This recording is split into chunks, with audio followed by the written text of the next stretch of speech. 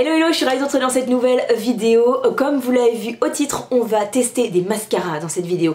C'est quelque chose que je fais rarement, vous voyez toujours, toujours, toujours mon Better Than Sex de chez Too Faced dans la plupart de mes vidéos. Mais euh, là, j'avais vraiment envie de changement, mon Better Than Sex est en train de se terminer. J'avais très envie d'essayer des mascaras. Et euh, avec les nouveautés qu'il y a eu, dont le mascara de Anastasia, euh, le dernier chez Sephora aussi. Enfin voilà, il y a eu quelques nouveautés que j'avais envie de tester, plus d'autres mascaras que j'avais envie de tester qui sont pas vraiment des nouveautés. Du coup, je me suis dit, mais pourquoi pas tous les tester finalement et acheter en full size euh, celui qui me conviendra le mieux. Donc j'ai acheté chez Sephora, hop, plusieurs... Ouh, il y a tout qui se casse la figure On a le nouveau de chez Sephora, euh, le Size Up, voilà, que j'avais vraiment très envie de tester. On a, euh, donc ça c'est une nouveauté, ça c'est le Go Big for Go Home de Kat Von D, qui n'est pas une nouveauté mais c'est un mascara qui me fait envie depuis sa sortie, donc je voulais le tester. Encore une nouveauté avec le dernier de chez Anastasia Beverly Hills, et d'ailleurs je crois que c'est le seul mascara de chez Anastasia Beverly Hills, si je ne dis pas de bêtises, et c'est le Lash Brag, euh, un mascara qui offre du volume apparemment, donc hmm, ça, ça risque de me plaire fortement. Et enfin, le Dime Girl, le Dame Girl de chez Too Faced. Euh, voilà, le petit frère du Better Than Sex. Il fallait que je le teste, je l'avais pas encore fait, donc ça va être chose faite. Donc écoutez, on va voir lequel euh, de ces quatre mascaras euh, est le mieux, en tout cas convient le mieux à mes cils. Donc je vous laisse avec la suite de la vidéo et le premier test. Ok, je vous retrouve, je vous ai rapproché, du coup on va tester le premier mascara. J'ai longtemps hésité et j'ai envie de commencer par le Size Up de chez Sephora. Alors, je vais d'abord recourber mes cils parce que moi il faut savoir que j'ai les cils relativement longs, j'en ai un nombre correct, voilà. Par contre, ils sont pas droits, c'est-à-dire que moi, limite, ils se recourbent vers le bas, c'est une catastrophe. Donc moi, mon problème, c'est euh, le volume, ce que je recherche en tout cas, et également surtout de la courbure. Et ça, je le trouve j'ai jamais été complètement satisfaite par un mascara à ce niveau-là, mais est-ce que c'est possible avec mes cils? Je ne sais pas. Voilà, je pense que là c'est pas mal. Et je vais pas recourber le deuxième. Moi je viens directement appliquer euh, la première couche de mascara, justement pour garder le plus de courbure possible. Donc c'est parti, je viens prendre du coup le Size Up de chez Sephora et je viens l'appliquer, hop.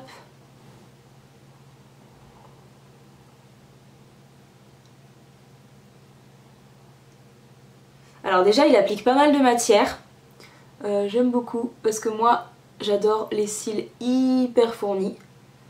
Donc première couche, on a quelque chose quand même de pas mal, je vais me rapprocher encore. Je trouve qu'il fait pas euh, les cils euh, trop en, paquet honnêtement.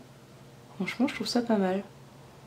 Ok, je vais venir faire les cils du bas et je vais venir directement appliquer une deuxième couche. À mon avis deux couches pour ce mascara ce sera suffisant je pense. Hein.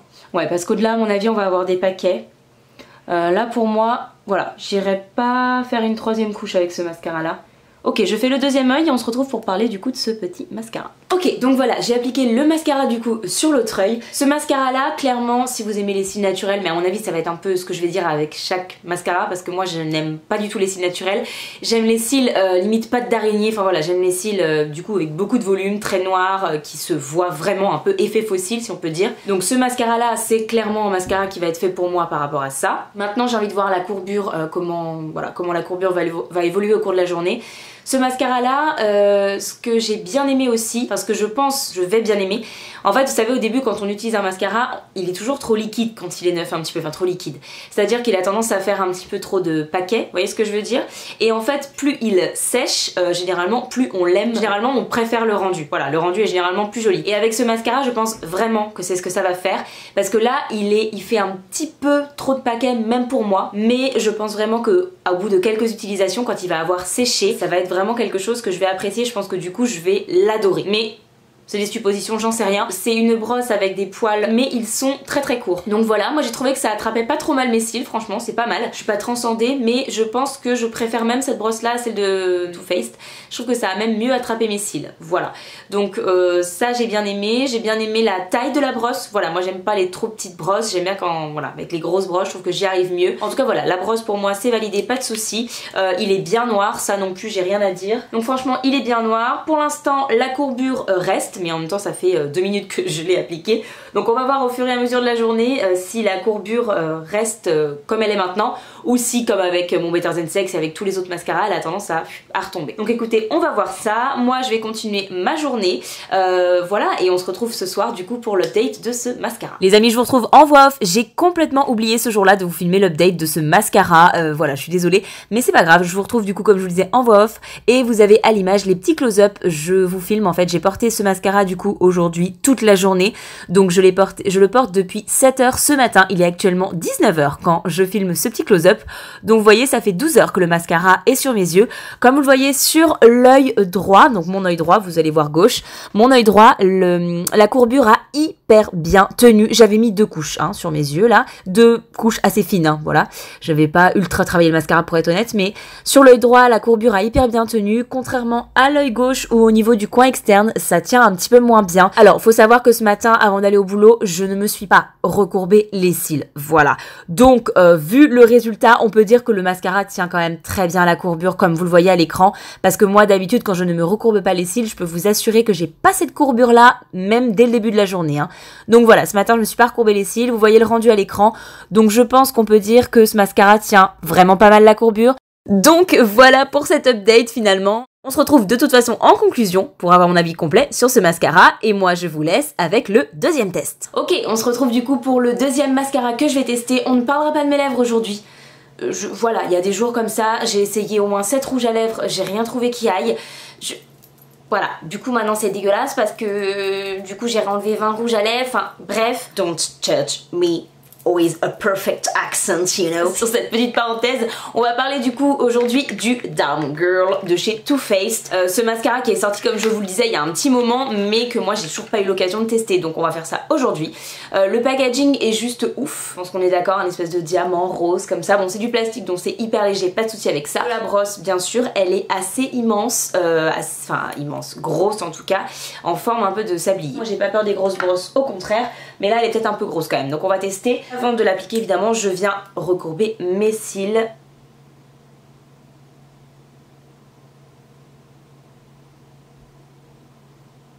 Il est joli, il fait pas beaucoup de paquets, franchement euh, là-dessus pas de soucis. Honnêtement je trouve pas que le fait qu'il ait une grosse brosse ça apporte quelque chose vraiment. Je vais mettre les cils du bas et en fait à cause de la, de la forme du packaging, moi j'aime bien en fait faire tourner le mascara, ça me permet de bien prendre les cils. Et là, j'ai du mal parce que, en fait, comme c'est pas rond, c'est pas facile, quoi. Mais écoutez, le rendu est plutôt joli avec cette première couche. Je sais pas ce que vous en pensez, mais moi j'aime bien. Hop, donc je vais faire tout de suite l'autre œil.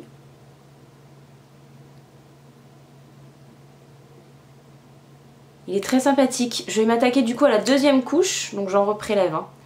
J'en reprélève et je vais venir appliquer juste ici pas y aller trop parce qu'on a vite des cils en pâte d'araignée un petit peu avec celui-là. Première couche ça va mais deuxième couche euh, on peut vite euh, avoir des paquets et pas des paquets comme j'aime bien. Mais du coup, euh, moi qui aime bien mettre plusieurs couches de mascara pour donner de la dimension avec celui-là, je sais pas si ça va être forcément possible facilement. Je vais pas mettre de troisième couche, ça c'est sûr, avec celui-là. Donc euh, je vais m'arrêter là. Je vais juste avec un goupillon. Bon voilà, j'ai enlevé un petit peu les paquets du coup avec le goupillon. Voilà, c'est loin d'être euh, moche, honnêtement. Mais c'est vrai que c'est un mascara qui fait pas mal de paquets. Donc il va falloir faire attention lors de l'application. Je pense aussi que c'est le fait qu'il soit neuf. Au cela dit, il est moins facile d'application que le Better Than Sex. Donc au final, ce que j'aurais envie de faire avec ce mascara là en fait tout simplement c'est d'attendre qu'il sèche un petit peu et de voir du coup faire un petit peu moins de paquets. C'est fort probable hein, parce que c'est souvent le cas. Donc voilà donc à tester. Chose que j'ai oublié de vous dire pendant l'application que j'ai remarqué il a fait des petites chutes. Il y en a deux une sur chaque œil. Euh, est-ce qu'il va avoir tendance à s'effriter? Je ne sais pas. On va voir ça du coup euh, ce soir. Euh, moi je vous retrouve pour vous dire comment il a évolué sur la journée et bien sûr s'il a tenu ma courbure ou pas. Je vous retrouve pour l'update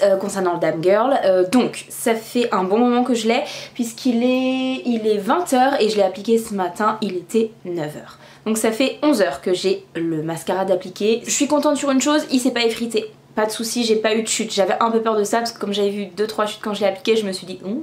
Euh, finalement non, j'ai aucune chute, pas de soucis. Il a bien tenu, la courbure est relativement... Voilà, ça n'a pas bougé. Je trouve pas que la courbure soit folle. Ça s'est affaissé un tout petit peu, mais pas plus que ça. Voilà, je suis pas, je peux pas dire que c'est une catastrophe du tout. Je trouve un peu finalement le rendu du Better Than Sex en fait, mais avec moins de couches. C'est un peu ce que j'ai envie de dire avec ce mascara là. Donc écoutez, je peux pas dire que je l'aime pas parce que vous savez que j'adore le Better Than Sex. Euh, honnêtement, il est vraiment sympa. Petite chose que j'ai à dire, c'est que sur l'emballage, on voit ici en fait euh, le rendu du mascara et c'est assez vrai. Euh, souvent sur les mascaras c'est des fossiles etc. Là c'est pas le cas, je trouve que c'est pas de la pub mensongère, on voit à peu près le rendu. Donc si en voyant le rendu sur la boîte vous vous dites non, on voit que c'est des cils très très fournis, c'est pas des cils naturels en tout cas. Voilà, si ça ça vous plaît pas, laissez tomber parce que c'est relativement je trouve le rendu qu'on peut avoir avec ce mascara là. On se retrouve du coup pour le troisième test de mascara, je vous dis à tout de suite Hello, je suis ravie de vous retrouver pour ce troisième test de mascara et on va enfin s'attaquer au mascara que j'avais le plus hâte de tester, très honnêtement, c'est celui de chez Anastasia Beverly Hills, euh, voilà, j'avais vraiment vraiment hâte de tester celui-ci. Alors qu'est-ce que ce mascara promet dans un premier temps? Du volume, pas de paquet, un rendu bien noir et un fini, euh, je cite, euh, voluptueux tout au long de la journée, voilà. Donc on va tester ça tout de suite, je vous rapproche et on fait le test. Alors la première chose du coup sur ce mascara, je l'ouvre avec vous, hop, c'est le packaging qui est juste sublime avec cette effet euh, dégradé rose gold et noir. Enfin moi j'adore ce packaging, il est vraiment magnifique. Il n'y a rien de spécial à part écrit Lash Brag Volumizing Mascara. Je vous rapproche tout de suite. Ok donc je vais recourber mes cils dans un premier temps. Ok et je vais direct appliquer le mascara avant de recourber l'autre. L'autre œil pour garder vraiment la courbure le plus possible. Je suis assez impressionnée en fait parce que effectivement on n'a pas de paquet mais vraiment pas du tout. Par rapport au Sephora qu'on a testé avant, ça change énormément parce qu'on a beaucoup plus de paquets dans le Sephora. Là, on n'en a pas du tout. Et il y a quand même un volume. Alors après, moi, j'ai pas assez euh, de volume à mon goût encore, mais on est qu'à la première couche. Euh, par contre, il n'y a vraiment pas de paquet, donc... Euh... Je vais faire les sites du bas directement. Voilà, je vais faire l'autre œil tout de suite et quand j'aurai fait l'autre œil, je repasserai une deuxième couche. Voilà. Ok, et ben je vais appliquer la deuxième couche sur l'autre œil. Euh, j'aime vraiment, vraiment beaucoup, beaucoup ce mascara. Mais vraiment. J'adore. Mais à mon avis, il va pas tenir la courbure. Ok donc voilà j'ai fini l'application avec ce mascara Mes premières impressions comme vous l'avez vu je suis très contente euh, J'aime beaucoup le rendu de ce mascara On a beaucoup de volume Effectivement il y a peu de paquets Là vous allez peut-être en voir parce que moi bah, c'est comme ça que j'aime porter mon mascara Mais par rapport par exemple au Sephora il y a beaucoup beaucoup moins de paquets. Donc pour moi ce mascara là tient ses promesses. Si vous n'aimez vraiment pas du tout les paquets, il suffit de mettre une seule couche et vous n'en aurez absolument pas. Par contre, moi ce que je pense, on verra ce soir, mais à mon avis, ce mascara ne va pas euh, tenir la courbure de mes cils. Est-ce que c'est parce que j'avais mal recourbé avant, j'ai pas trop fait attention c'est fort probable, hein. c'est fort probable parce que comme vous l'avez vu mes cils vont vers le bas donc pour les attraper dans le recourbé cils c'est pas forcément simple donc c'est possible que ce soit à cause de ça voilà donc moi je vous dis à ce soir pour l'update et euh, voilà, hâte de voir euh, si la courbure a un minimum tenu ou pas. Ok, mais voilà du coup pour l'update concernant le mascara Anastasia Beverly Hills. Euh, honnêtement, je me suis regardée là à l'instant dans mon miroir. Et pour le coup, ben, en fait je suis agréablement surprise parce que ça n'a pas bougé. La courbure est restée, je m'y attendais pas honnêtement. Je pensais vraiment que ça allait s'affaisser et franchement non, ou à peine parce que moi je vois pas une grande différence avec quand je l'ai appliqué. Du coup, je pense que j'avais vraiment mal recourbé mes cils en fait sur, cet œil là parce que là pour le coup ça n'a pas bougé. Donc pour le coup, bah écoutez, c'est une très très très bonne surprise ce mascara. Euh, je suis vraiment super super contente du résultat, je le trouve très très beau. Moi je vous laisse avec le dernier test et je vous retrouve pour la conclusion. On se retrouve du coup pour le dernier test de mascara. On va tester du coup, comme vous l'avez deviné, celui de chez Kat le Go Big or Go Home. Ne jugez pas mon make-up, j'ai tenté pour la première fois un Foxy Eyes on n'est pas complètement satisfait du résultat, hein, voilà. Donc ce mascara il promet un extrême volume, une longue tenue. Ce qui est intéressant à savoir sur ce mascara là, c'est que c'est un mascara vegan, voilà. C'est un mascara volumateur, comme tous les mascaras de cette vidéo, hein, puisque moi c'est vraiment ce que je recherche. Donc voilà, on va tester ça ensemble, c'est parti. Donc je vais évidemment commencer par me recourber les cils comme je fais toujours. Au niveau de la brosse, on est sur quelque chose de euh, relativement gros mais euh, beaucoup moins que la Dame Girl par exemple, vraiment moins. Alors, première couche d'appliquer, qu'est-ce que j'en pense? Il fait pas du tout de paquet ce mascara, donc ça c'est sûr et certain. Il apporte un certain volume, je peux pas dire le contraire. Il apporte aussi de la longueur. Voilà, on va voir avec la deuxième couche, pour l'instant j'aime bien.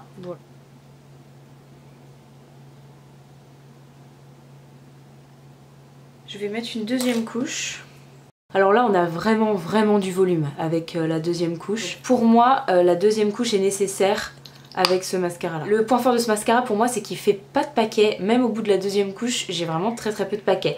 Euh, j'ai quand même envie d'essayer de mettre une troisième couche parce qu'on est là pour tester, hein, voilà. Il sèche assez vite, c'est pour ça que j'ai fait tout de suite la troisième couche.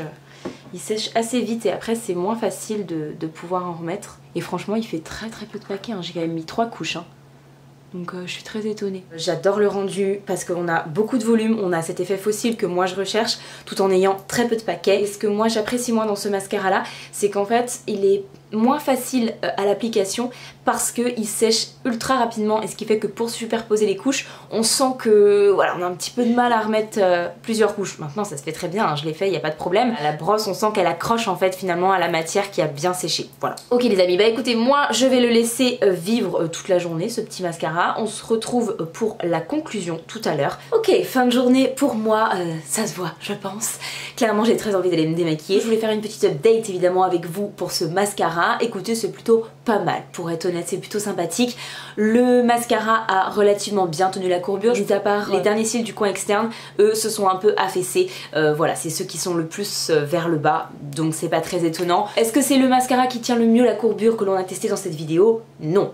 Mais voilà, c'est pas si mal. Je dirais qu'il tient aussi bien la courbure que mon Better Than Sex. que le mascara en tout cas n'a pas coulé du tout. J'ai un petit peu de noir ici mais c'est dû plutôt au fard à paupières euh, que j'ai mis pour faire cet effet de chat. Aucun souci, ça ne s'est pas du tout effrité. Le mascara est resté bien noir. Donc écoutez, voilà pour ce mascara. Je suis plutôt contente. Euh, je vais pas vous en dire plus. On va se retrouver du coup euh, eh ben, tout de suite avec la conclusion de cette vidéo et finalement mon comparatif sur ces quatre produits. Ok les amis, nous revoilà pour la conclusion de cette vidéo. Alors pour commencer, je vais vous parler du size up. Euh, les points forts de ce mascara, c'est ben, en premier lieu son prix, puisque pour 14 euh, ml, ce qui est énorme, hein, vous allez voir par rapport à la contenance des autres, on est plus autour des 10 ml. Donc pour un full size, hein, c'est pas ce format là, on est sur un 14 ml et en plus de ça, il coûte 12,99€, 13€. Donc clairement, au niveau rapport qualité-prix, ce mascara là bat tous les autres à plat de couture dans cette vidéo, si on aime les mascaras qui font du volume, qui ont un effet un petit peu fossile. Euh, si on aime le mascara naturel, c'est pas du tout, du tout un mascara qui est fait pour vous. On en vient du coup au deuxième point, ce que j'aime un petit peu moins, c'est qu'il a tendance à faire quand même des paquets ce mascara là. Alors moi ça me fait pas peur, j'ai pas peur des mascaras qui font des paquets, je sais à peu près les gérer. Mais comme vous l'avez vu, euh, voilà, je mets une, deux couches, j'irai pas me tenter pour une troisième couche. Maintenant, il était tout neuf, donc comme je le disais encore une fois, c'est fort possible que quand il aura séché un petit peu, j'arrive encore mieux à le, manipuler, à l'appliquer et que je puisse mettre une troisième couche. Ce que j'ai aimé sur ce mascara là, bien évidemment, c'est son volume. Voilà, même s'il fait des paquets, il fait un volume assez spectaculaire que moi j'aime beaucoup et en peu de couches finalement. Ce que j'aime aussi, c'est qu'il maintient bien la courbure et ça j'étais étonnée, j'avais vraiment peur qu'il s'affaisse. Et ben pas du tout, il maintient vraiment bien la courbure. Par contre, on n'a pas les cils très souples avec ce mascara là, un petit peu l'effet cils cartonné. Alors moi j'en ai rien à péter parce que franchement c'est pas quelque chose qui va me déranger du tout. Tant que le mascara ne s'effrite pas, je veux pas sentir mes cils souples, je m'en fiche en fait. Donc pour le coup ça moi ça va pas du tout me déranger, au contraire je pense que du coup c'est un de ceux qui tient le mieux la courbure de cette vidéo grâce potentiellement aussi à ça. Au niveau du démaquillage, écoutez j'ai pas de soucis mais franchement j'ai eu de soucis pour aucun mascara, à savoir quand même que moi je me démaquille au baume démaquillant. Voilà, c'est un super mascara et franchement je vais le racheter. Pour le prix, c'est vraiment une pépite ce mascara. Ensuite, je vais vous parler du Dame Girl de chez Too Faced. Alors celui-ci, j'en attendais pas mal parce que j'ai entendu vraiment de beaucoup d'avis sur ce mascara, de bons avis sur ce mascara. En l'occurrence, moi je l'aime bien, il est très chouette. Maintenant, est-ce que je suis transcendée? Non. Pour moi, il a le même rendu que le Better Than Sex, mais en mettant moins de couches. C'est-à-dire qu'avec avec celui-ci, en une voire deux couches, j'ai le même rendu que le Better Than Sex avec trois ou quatre couches. Donc déjà, si jamais je voulais euh, réavoir le rendu de mon Better Than Sex, je rachèterais le Dame Girl. Pour moi, c'est finalement le Better Than Sex en mieux. Voilà. Euh, donc ce mascara là, je le trouve vraiment très bien. Maintenant, vu ce que j'ai testé dans la vidéo, voilà, à choisir est-ce que je rachète le Dame Girl ou le Sephora, je rachète le Sephora en fait. Je préfère le rendu du Sephora, même si je me bats un petit peu plus avec. Euh, voilà, celui-ci il est très bien, mais euh, comme je vous l'ai dit en début de vidéo, je voulais trouver autre chose que le rendu mon Better Than Sex, et en l'occurrence, j'ai sensiblement le rendu du Better Than Sex, même si j'utilise moins de produits pour l'avoir. Parlons prix, il coûte 26 euros pour 14 ml, il se défend pas mal, franchement c'est pas le plus cher de la vidéo, vous allez le voir. Il est très très bien, mais moi je recherche encore mieux. Voilà, si je peux trouver. Ok, on va passer du coup au Go Big or Go Home de chez Kat Von D. Les points forts de ce mascara là, c'est qu'il est vegan, donc si vous cherchez du make-up euh, vegan, franchement ça c'est super chouette. C'est un très bon mascara, il est vraiment très très bien. Il apporte euh, du volume, oui. Au niveau de la courbure, écoutez c'est sensiblement la même chose que le le, le Dame Girl, c'est-à-dire qu'ils maintiennent la courbure. Maintenant on voit quand même en fin de journée que mes cils se sont un petit peu affaissés. Je vous rappelle quand même que j'ai les cils qui vont carrément vers le bas, hein. donc voilà, je leur en demande aussi beaucoup. Celui-ci va avoir un effet un petit peu plus naturel, donc si je veux moi mon effet fossile, je vais devoir en mettre un peu plus. Il fait très peu de paquets. Maintenant au niveau de l'application, c'est pas le plus simple. Je trouve que la matière a tendance à sécher ultra vite pour un mascara. J'ai du mal à l'appliquer en superposition en fait. J'ai du mal à appliquer plusieurs couches. C'est clairement faisable, hein. vous l'avez vu dans la vidéo, je les ai pas effritées ou quoi que ce soit. Mais voilà, juste à noter, c'est qu'au niveau de l'application, c'est pas le plus simple finalement quand on veut superposer les couches. Au niveau du prix, le full size de 10 euh, ml euh, coûte 22 euh, euros. Ça reste quand même un prix pour moi qui est très correct pour un mascara. On va parler maintenant du mascara chez Anastasia Beverly Hills, le Lash Brag. Et voilà, je vous spoil un peu tout de suite, mais clairement c'est mon coup de cœur de cette vidéo. Je suis amoureuse de ce mascara. Je trouve vraiment très très beau. Comme vous l'avez vu en application, j'étais vraiment agréablement surprise parce qu'il fait du volume mais très peu de paquets. Je peux superposer les couches à ma guise, je vais avoir à chaque fois plus de volume mais pas forcément de paquets. Voilà, alors évidemment si je mets 15 couches au bout d'un moment, les cils vont se coller, hein, bien évidemment. Mais euh, voilà, c'est vraiment un truc que j'avais jamais vu jusqu'à présent chez les mascaras que j'avais testés. D'habitude j'avais tendance, voilà, deuxième couche, euh, ça commençait à être chaud au niveau paquet et troisième couche, n'en parlons pas. Avec ce mascara là c'est pas le cas, je l'ai encore appliqué aujourd'hui. Je peux superposer les couches, je n'aurai pas de paquet. J'ai mis trois couches aujourd'hui et j'ai zéro paquet. Donc c'est quelque chose que j'aime beaucoup. Euh, maintenant je trouve qu'il fait un tout petit peu moins l'effet fossile que j'aime bien que euh, tout simplement le size up de Sephora. Les deux mascaras qui maintiennent le mieux la courbe de cette vidéo c'est clairement le Anastasia et également le Sephora. Mais cela dit j'étais vraiment hyper choquée, même je l'ai porté hein, depuis. Et quand je me regarde dans le miroir le soir je me dis pas ah, c'est bon les cils ils sont retombés. Comme par exemple avec le Dame Girl ou le Gobi Gorgo où je vois quand même une petite différence au faire dans la glace. Avec celui-là elle, est pas elle est pas notable en fait. J'arrive pas à me dire ah ouais je vois quand même une différence. D'autant plus que lui pour le coup n'a pas du tout l'effet cartonné en fait. Là je touche mes cils j'ai mis trois couches. Limite j'ai l'impression de pas avoir mis de mascara donc euh, voilà pour moi c'est vraiment une pépite ce mascara c'est vraiment le coup de cœur de cette vidéo je le trouve ouf pour le coup le Anastasia je l'ai adoré dès la première application j'ai pas eu ce sentiment que j'ai avec quasiment tous les autres mascaras de me dire ouais alors il est super mais je vais attendre qu'il sèche et il sera encore mieux. Avec celui-là j'ai vraiment pas cette impression là. Je sais pas s'il va s'améliorer en séchant ou pas mais en tout cas dès le début j'ai un rendu que je trouve magnifique. Parlons du petit point qui fâche concernant ce mascara et c'est son prix. Voilà parce que clairement et haut la main c'est le plus cher de cette vidéo pour 10 ml euh, en full size, encore une fois c'est pas le full size, hein, vous savez bien, il coûte 28 euros. Donc clairement c'est le plus cher. C'est celui qui a une contenance euh, similaire au Go Big Orgome, mais le Go Big Orgome, lui, de chez Kat Von coûte seulement 22 euros. Celui-là en coûte 28. Voilà. Même s'il coûte un petit peu plus cher, ça m'empêchera pas de le racheter. Gros gros coup de cœur pour le Anastasia, qui est clairement mon mascara préféré de cette vidéo. En deuxième position, et il le talonne de très près, parce que pour moi c'est pas la même utilisation exacte en fait. Le Size Up de Sephora. Si je veux vraiment un effet fossile de fou avec un mascara, je vais quand même plus me tourner vers le size up mais en sachant que j'aurai du coup des paquets. Voilà. Donc j'utiliserai pas dans les mêmes moments en fait. Celui-là, je vais vraiment l'utiliser quand je fais un make-up chargé et que j'ai la flemme de mettre des fossiles, mais que vraiment il faut des fossiles. Pour le coup, le Anastasia, je l'utiliserai euh, en mascara quotidien finalement. Pour moi, il est meilleur que le Better Than Sex. Je le préfère, vraiment. Le rendu est plus joli et en plus de ça, euh, il tient mieux la courbure. Enfin, Vraiment c'est un énorme coup de cœur pour ce mascara. Donc voilà, si vous n'avez pas peur de l'effet fossile et que vous voulez mettre un petit prix, tournez-vous vers le Size Up sans hésiter. Maintenant, si vous voulez un mascara qui va vous faire un volume de malade, sans paquet, qui va tenir toute la journée, etc., penchez-vous vers le Anastasia. Franchement, ok, il est un petit peu cher, mais il est vraiment génial. Nous, on se retrouve très très vite dans une prochaine vidéo. N'hésitez pas dans les commentaires à me donner vos avis sur ces mascaras-là, à me dire lequel vous fait le plus envie. Moi, je vous retrouve très très vite dans une prochaine vidéo. Si c'est pas encore fait, n'hésitez pas à vous abonner. C'est facile, c'est gratuit. Vous pouvez suivre comme ça mes aventures YouTube en cliquant juste sur le bouton s'abonner juste en dessous de la vidéo. Et si cette vidéo vous a plu, n'hésitez pas également à la liker, ça me fait toujours plaisir, ça me permet de savoir ce qui vous plaît ou ce qui vous ne plaît pas et ça vous permet tout simplement de me soutenir. Voilà, moi je vous à très très vite. Bye